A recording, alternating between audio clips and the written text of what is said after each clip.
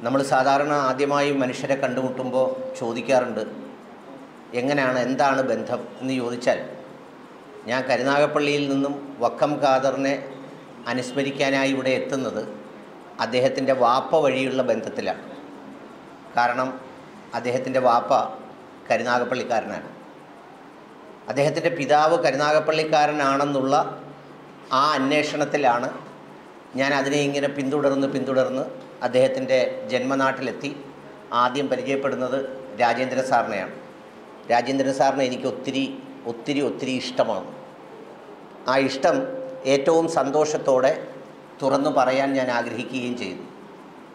മനുഷ്യരോടുള്ള ഇഷ്ടം അവർ ജീവിച്ചിരിക്കുമ്പോൾ സംഭാഷണത്തിലൂടെ സ്നേഹത്തിലൂടെ പരസ്പരം പറയേണ്ടതാണ്. അവരങ്ങ് മരിച്ചു കഴിഞ്ഞ് അനുശോചനത്തിൽ പ്രസംഗിക്കേണ്ടതല്ല. അത് ഞാൻ മരിച്ചാലും അദ്ദേഹം യാത്രയായാലും. അതുകൊണ്ട് എനിക്ക് അദ്ദേഹത്തെ വലിയ ഇഷ്ടമാണ്. ഇടയ്ക്ക് ഞാൻ വിളിക്കുമ്പോൾ ഫോൺ എടുത്തില്ലെങ്കിൽ എനിക്ക് വല്ലാത്ത ആകുലത തോന്നും. വീണ്ടും ഞാൻ ആവർത്തിച്ച് ആവർത്തിച്ച് വിളിക്കാറുണ്ട്. പ്രിയപ്പെട്ടവരെ ഈ വേദിയിലിരിക്കുന്ന നിങ്ങൾ വളരെ ചെറിയൊരു സംഘമാണ്. പക്ഷേ സ്മോൾ ഈസ് ബ്യൂട്ടിഫുൾ എന്ന് പറയുന്ന ഒരു മനോഹരമായ കൊട്ടേഷൻ അന്വർത്ഥമാകുന്നത് ഇവിടെയാണെന്ന് എനിക്ക് തോന്നുന്നു.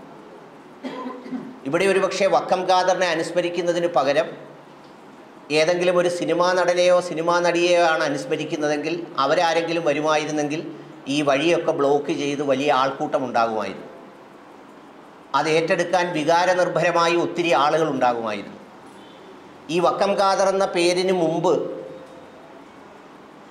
ഷെയ്ഖ് വക്കം ഖാദർ അൽ ഖുവൈസി തങ്ങൾ എന്നായിരുന്നു വക്കം ഖാദറിന്റെ പേരെങ്കിൽ അദ്ദേഹത്തിന്റെ ആണ്ട് നേർച്ചയ്ക്കും ഓർമ്മ ദിനത്തിനും ആയിരങ്ങളും പതിനായിരങ്ങളും പങ്കെടുക്കുന്ന അനുഗ്രഹ സദസ്സുകൾ ഉണ്ടായേനെ ഇതൊന്നും അവരിൽ നിന്ന് കിട്ടുന്ന അനുഗ്രഹം വാങ്ങാനല്ല. നമ്മൾ അനുഗ്രഹമായി വിശ്വസിക്കുന്ന ഗാന്ധി തലയുള്ള ആ നോട്ടുകൾ സ്വന്തമാക്കുന്നതിന്റെ ഭാഗമായുള്ള സ്നേഹത്തിന്റെ ഭാഗമായാണ് ഇവരെയൊക്കെ സ്നേഹിച്ചു പോരുന്നത്. അല്ലാതെ പ്രത്യേകിച്ച് അവരോടുള്ള സ്നേഹം കൊണ്ടും ഇഷ്ടം കൊണ്ടൊന്നുമല്ല ഇവിടെ സ്വന്തം ജീവിതം ഒരു രാജ്യത്തിന്റെ സ്വാതന്ത്ര്യത്തിനു വേണ്ടി സമർപ്പിച്ച ഒരു ധീര രക്തസാക്ഷിയുടെ ഓർമ്മകൾ അയവിറക്കുന്ന ഇന്നത്തെ കാലത്തിന് വളരെ പ്രസക്തിയുണ്ട്. ഇപ്പോൾ ബഹുമാനപ്പെട്ട പിന്നെ ജമാൽ മുഹമ്മദ് സാറ് പറഞ്ഞു ഫൗണ്ടേഷന്റെയും മറ്റ് സംഘടനകളുടെയും നേതൃത്വത്തിലൊക്കെ നടക്കുന്ന പ്രവർത്തനം പറഞ്ഞു. എന്റെ അധ്യാപകനാണ് ഞാൻ വലിയ ബഹുമാനിക്കുന്ന ആളാണ്. ഒരു വീട്ടിലൊരാൾ ഏറ്റവും മനോഹരമായ കല്ലുകൾ ഇങ്ങനെ വളരെ ആസൂത്രിതമായി ശേഖരിച്ചു വെച്ചുകൊണ്ടിരിക്കുകയാണ്. എന്തിനാണ്? ഒരു പട്ടി വരുമ്പോൾ എറിയാനായി. പക്ഷേ ആ ശേഖരണം മാത്രമേ നടക്കുന്നുള്ളൂ. പട്ടി വന്ന് ഈ ആളിനെ കടിച്ചുകൊണ്ട് പോയാലും നമുക്ക് ഏറ് നടക്കുന്നില്ല എന്നുണ്ടെങ്കിൽ ആ ശേഖരിച്ചു വെക്കൽ അർത്ഥശൂന്യമാണ്. ഇന്ന് നൂറ്റിയഞ്ചാം ജന്മദിനം വക്കം ഖാദറിനെ അനുസ്മരിക്കുമ്പോഴും എത്രയോ പ്രഗത്ഭമതികളായ ആളുകൾ കടന്നുപോയിട്ടും ഇന്ത്യയുടെ കേരളത്തിന്റെ വിദ്യാഭ്യാസത്തിന്റെ പാഠപുസ്തകങ്ങളിൽ ചരിത്രത്തിന്റെ ഏടുകളിൽ കുട്ടികൾ പഠിക്കുന്ന പാഠപുസ്തകങ്ങളിൽ രണ്ട് പേജെങ്കിലും വക്കം ഖാദറിന് വേണ്ടി മാറ്റിവെക്കാൻ കഴിഞ്ഞില്ലെങ്കിൽ അത് നമ്മുടെ പ്രാപ്തിക്കുറവാണ് എന്നുള്ളത് ലജ്ജാകരമായി സ്വയം അംഗീകരിച്ച് അപമാനിതരാകേണ്ടതാണ്. ആ അഭിപ്രായമാണ് എനിക്കുള്ളത്. ഇനി നൂറ്റിയഞ്ചും കഴിഞ്ഞ് ഇരുപത്തഞ്ച് വർഷം കൂടി കഴിഞ്ഞ് ഇപ്പോൾ സഞ്ചരിക്കുന്ന പാതയിലാണ് ഈ രാജ്യം സഞ്ചരിച്ചു പോകുന്നതെങ്കിൽ ഈ രാജ്യത്തിന്റെ തന്നെ ഈ പറയുന്ന അതിന്റെ ഭാവി ഭാഗതയത്തെക്കുറിച്ച് ഉത്കണ്ഠ നിറഞ്ഞു നിൽക്കുന്ന കാലത്ത് ഇനിയും ഇരുപത്തഞ്ച് വർഷം കഴിഞ്ഞ് വക്കം ഖാദറിനെ കുറിച്ച് പറയാൻ കാത്തിരിക്കുന്നു എന്ന് പറഞ്ഞാൽ അതിന്റെ പ്രസക്തി എന്താണെന്ന് മനസ്സിലാവുന്നില്ല. നമ്മളൊരാളിന് രോഗപ്രതിരോധത്തിന് മരുന്ന് കൊടുക്കും രോഗം വരുമ്പോൾ മരുന്ന് കൊടുക്കും. എന്നാൽ ആർക്കും നമ്മൾ സഞ്ചയനത്തിന്റെ അന്ന് മരുന്ന് കൊടുക്കാറില്ല. കാരണം ജീവിച്ചിരിക്കുമ്പോഴാണ് ഈ മരുന്നിന്റെ ആവശ്യമുള്ളത്. ഇന്ത്യ ഇന്നും ജീവിച്ചിരിക്കുന്നു കേരള സമൂഹം ഇന്നും ജീവിച്ചിരിക്കുന്നു. എവിടെയും വിദ്വേഷത്തിന്റെയും വെറുപ്പിന്റെയും ശബ്ദങ്ങളൊക്കെ ഒറ്റപ്പെട്ട തുരുത്തുകളായി ഉയരുമ്പോഴും അതിനപ്പുറത്ത് ഇന്ത്യ കേരളമെന്ന് പറയുന്ന മഹത്തായ ഒരു വികാരം ഉൾക്കൊള്ളുന്ന ഒരു ചെറുതല്ലാത്ത സംഘം ഇന്നും അവശേഷിക്കുന്നു എന്നുള്ളത് നമ്മൾ ഭാഗ്യമുള്ളവരാണ്. അങ്ങനെ ഉണ്ടാകുന്നതിൽ ഓരോ നിമിഷവും നമ്മൾ പ്രാർത്ഥിക്കേണ്ടവരാണ്. അപ്പോൾ അതുകൊണ്ട് വക്കം ഖാദർ എന്ന് പറയുന്ന ഒരു ധീര രക്തസാക്ഷിക്ക് രാജ്യത്തിനു വേണ്ടി ജീവൻ ബലിയർപ്പിച്ച ആളിന് ഈ സമൂഹം ഈ സംസ്ഥാനം അർഹമായ പ്രാതിനിധ്യം അർഹമായ ഗൗരവം കൊടുക്കുന്നില്ല എന്നുള്ള പക്ഷത്ത് തന്നെയാണ് ഞാൻ നിൽക്കുന്നത്. നമ്മളിന്ന് ഒരുപാട് മൂലധനത്തെക്കുറിച്ച് പഠിക്കാറുണ്ട്. സാമ്പത്തിക മൂലധനം നിങ്ങൾക്ക് പരിചയപ്പെടുത്തേണ്ട. എനിക്ക് ഇത്ര കോടി രൂപ ബാങ്ക് അക്കൗണ്ട് ഉണ്ടെങ്കിൽ അതെന്റെ സാമ്പത്തിക മൂലധനമാണ്. എന്റെ ഡിഗ്രി എനിക്കൊരു വലിയ മൂലധനമാണ്. എന്റെ കുടുംബമഹിമ അതും ഞാനൊരു മൂലധനമായി വിശ്വസിക്കുന്നു. എന്റെ പറമ്പ് അതെനിക്കൊരു മൂലധനമാണ്. പക്ഷേ വർത്തമാന കാലഘട്ടത്തിൽ പ്രിയപ്പെട്ടവരെ ഓർമ്മകൾ പോലും ഇന്നൊരു മൂലധനമായി കണക്കാക്കേണ്ട കാലത്താണ് നാം ജീവിക്കുന്നത്. ഞാൻ പറയുന്നത് വക്കം കാതറിന്റെ ഓർമ്മ ഒരു മൂലധനമാണ് ഒരു സമൂഹത്തിന്. അതൊരു ക്യാപിറ്റലാണ്. അതൊരു സാമൂഹിക മൂലധനമാണ്.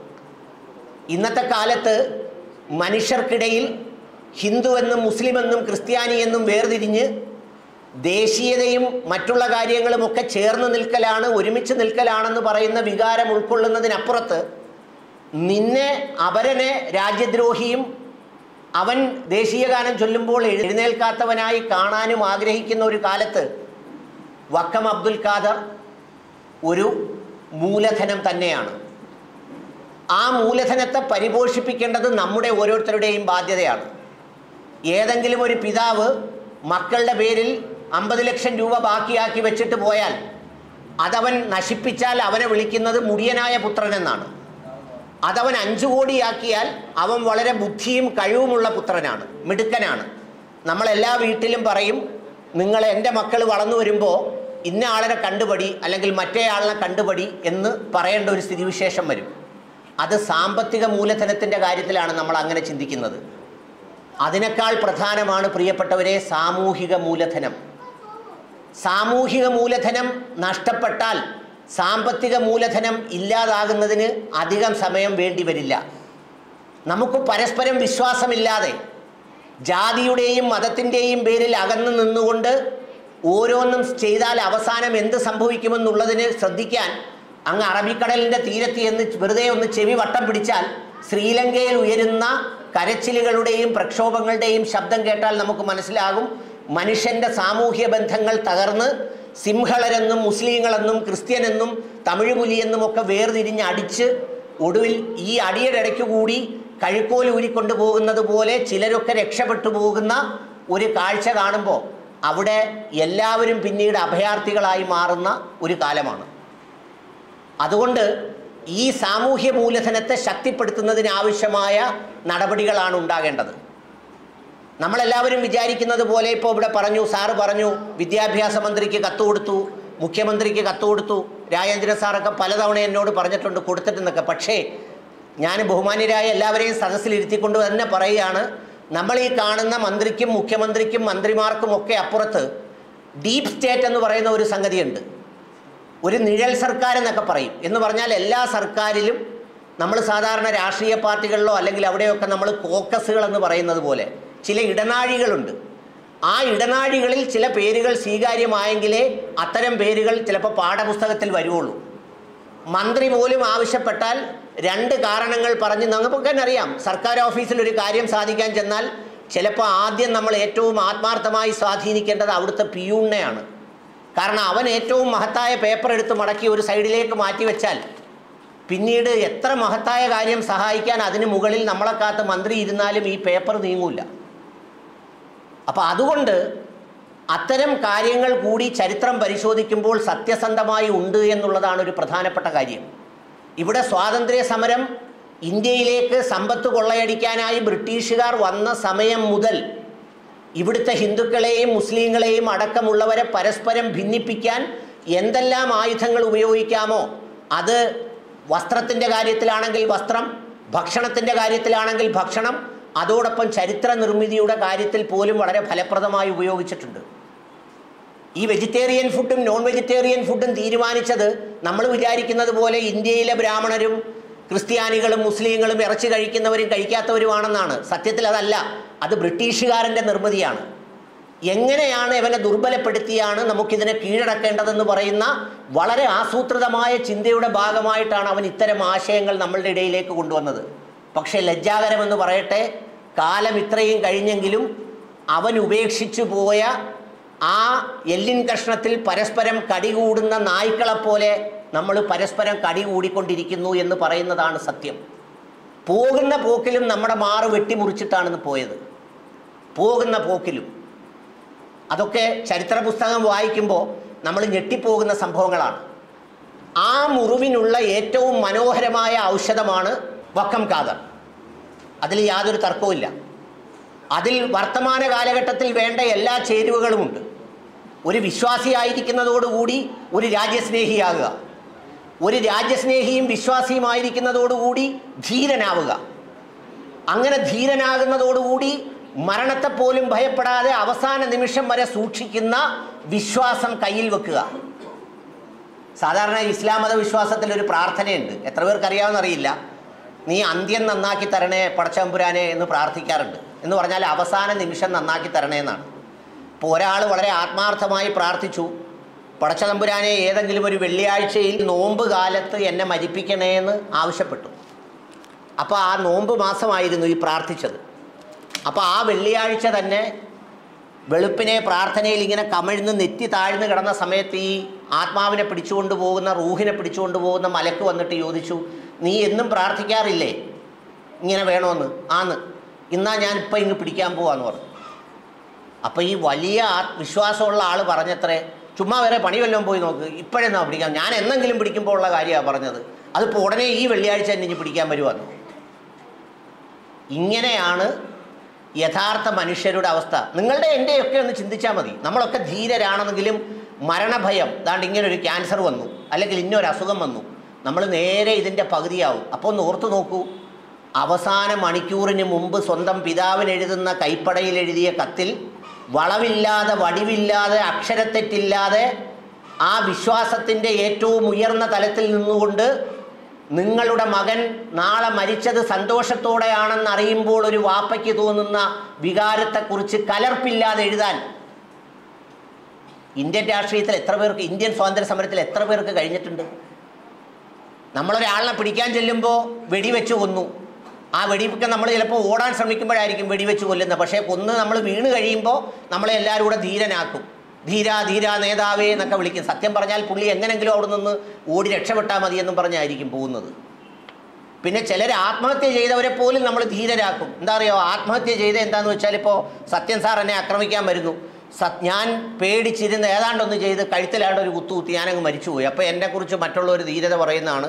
സാറിന്റെ കൈ കൊണ്ട് മരിക്കാതിരിക്കാൻ വേണ്ടി ഞാൻ സ്വയം നെഞ്ചിൽ കത്തി കുത്തി ഇറക്കിയ ധീരദേശാഭിമാനി. ആയിക്കോട്ടെ. പക്ഷേ ഇതൊന്നുമല്ലാതെ ഇരുപത്താറാം വയസ്സിൽ യാതൊരു ചാഞ്ചല്യവുമില്ലാതെ ഇത്ര വൃത്തിയായി വിശ്വാസത്തിന്റെ ഏറ്റവും ഉയർന്ന തലത്തിൽ നിന്നുകൊണ്ട് എഴുതാൻ പ്രിയപ്പെട്ടവരെ ഞാൻ എഴുതിത്തരാം. ഇപ്പോഴത്തെ കാലത്ത് പ്രസംഗിക്കുന്ന ആത്മീയ പണ്ഡിതന്മാർക്ക് പോലും കഴിയില്ല. എല്ലാവരും പ്രാർത്ഥിക്കുന്നതിൽ തൊണ്ണൂറ് ശതമാനവും പ്രാർത്ഥിക്കുന്നത് പടച്ചവനെ രോഗം വരുത്തല്ലേ? എനിക്ക് കുറേ കൂടെ ആയുസ് തരണേ. പത്ത് തൊണ്ണൂറ് വയസ്സ് വരെ ജീവിച്ചിരുന്ന എല്ലാവരെയും ഇട്ട് ഇടങ്ങേറാക്കാനുള്ള ഭാഗ്യം എനിക്ക് നൽകണേ. ഒരാളുകൾക്ക് ഞാൻ സ്വസ്ഥത കൊടുക്കല്ലേ എന്നൊക്കെ പറഞ്ഞാൽ പ്രാർത്ഥിക്കുന്നത് അപ്പോഴാണ് ഇത്തരം ഒരു മരണം. അപ്പോൾ അതുകൊണ്ട് വക്കം ഖാദറിനെ ഇത്തരത്തിൽ നമ്മളൊരു ചെറിയ ഒരു മുറിക്കകത്തിരുന്നു കൊണ്ട് അനുസ്മരിക്കുന്നതിന് പകരം തെരുവുകളിൽ പഴയ കാലത്തിൽ ആടവൈദ്യന്മാർ ആണിനെ പെണ്ണാക്കുന്ന മരുന്ന് ഈർക്കിൽ വളയ്ക്കുന്ന മരുന്നെന്ന് പറഞ്ഞതുപോലെ ദാണ്ട കേരളം ഇന്ന് നേരിടുന്ന പ്രശ്നത്തിന്റെ ഏറ്റവും വലിയ ഔഷധം ഈ ഇരുപത്തി ആറുകാരന്റെ ജീവനിലുണ്ട് അവന്റെ വരികളിലുണ്ട് അവന്റെ വാക്കുകളിലുണ്ട് അവന്റെ സ്നേഹബന്ധങ്ങളിലുണ്ട് അവന്റെ ചേർത്ത് വെക്കലുകളിലുണ്ട് അവന്റെ ത്യാഗത്തിലുണ്ട്. അവൻ കുടുംബത്തിന് മേൽ എങ്ങനെയാണ് ഒരു രാജ്യത്തിന്റെ പുരോഗതിയെയും സ്വാതന്ത്ര്യത്തെയും സ്വപ്നം കണ്ടത് എന്നുള്ളതിലുണ്ട് എന്ന് ഉറക്കെ പറയാൻ കഴിയുന്ന ധീര രക്തസാക്ഷികളിൽ ഒരാളാണ് വക്കം ഖാദർ. ഇന്ന് സ്വദേശാഭിമാനി രാമകൃഷ്ണുള്ള അദ്ദേഹത്തിന്റെയും ജന്മദിനമാണെന്നാണ് എനിക്ക് തോന്നുന്നത്. നൂറ്റി എൺപത്തിനാലോ മറ്റോ. ആ സ്വദേശാഭിമാനി രാമകൃഷ്ണപിള്ളയെ ഓർക്കുമ്പോൾ വക്കം അബ്ദുൽ ഖാദർ മൗലവിയെ ഓർക്കണം. കാരണം ഇന്നത്തെ കാലത്ത് പണിയെടുക്കാൻ അറിയാവുന്ന സത്യസന്ധമായി എഴുതാൻ അറിയാവുന്ന എഴുത്തുകാരുണ്ടെങ്കിലും അവനെ പണി ചെയ്യിക്കാൻ തയ്യാറാകാത്ത മാനേജ്മെന്റ് ഭയപ്പെടുന്നവരുടെ കാലത്ത് ഇവരെ രണ്ടുപേരെയും കൂടെ ചേർത്താണ് ഓർക്കേണ്ടത്. വക്കമൊക്കെ ഒരു വികാരമാണ്. വക്കമൊക്കെ ഒരു ആവേശമാണ്. ഒരുപക്ഷെ നിങ്ങൾ ഇവിടെ താമസിക്കുന്നവർക്ക് ഈ നാടിന്റെ ത്രസിപ്പിക്കുന്ന ഭൂതകാലത്തിന്റെ ഓർമ്മകളുടെ ആ മൂലധനത്തെക്കുറിച്ച് അറിയാത്തത് കൊണ്ടാണ്. ഇവിടുത്തെ ഓരോ മണ്ടരികൾക്കും ഞാൻ രാജേന്ദ്ര സാറുമായിട്ട് സംസാരിച്ചു പോയി ഇവിടുത്തെ പള്ളിയുടെ കബറിടങ്ങളിൽ പോയി അവിടുത്തെ പല കബറിടങ്ങളും കണ്ടു. പലരുടെയും ഓർമ്മകളിലൂടെ സഞ്ചരിച്ചു. സാറ് സഞ്ചരിക്കുമ്പോഴൊക്കെ എന്നോട് പറയും ശ്രീനാരായണ ഗുരുദേവൻ ഇവിടെ വന്നിട്ടുള്ള സ്ഥലമാണ്. ഇവിടെ കുമാരനാശാന്റെ പാദസ്പർശമേറ്റ സ്ഥലമാണ്. ഇവിടെ വക്കം അബ്ദുൽ ഖാദർ മൗലവിയുടെ സാന്നിധ്യമുണ്ടായിരുന്ന സ്ഥലമാണ്. ഈ മണ്ണിൽ നിന്നാണ് വക്കം കാതർ എന്ന ഒരു ധീരദേശാഭിമാനി നെഞ്ചു വിരിച്ച് ചങ്കൂറ്റത്തോടെ ചിരിച്ചുകൊണ്ട് തൂക്കുകയറിലേക്ക് നടന്നെടുത്തതെന്ന് പറയാൻ കഴിയുന്ന നാടിന്റെ പൈതൃകത്തിന്റെ ഭാഗമാകാൻ കഴിയുന്ന നിങ്ങൾ ഓരോരുത്തരും അഭിമാനിക്കേണ്ടതാണ്.